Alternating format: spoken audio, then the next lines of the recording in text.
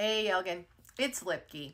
So last year in 2023, the only Travis County ward seat that came up for election was Ward 2. Can y'all see that? Good Lord. 20 people in Travis County voted in that election. 20 people decided.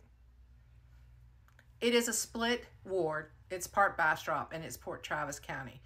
But when you're being affected by this traffic and the growth, the major growth in Elgin is in Travis County, and you're not having a say in how this city is growing, how it's being developed, what kind of businesses are coming in, because only 20 of you right there voted.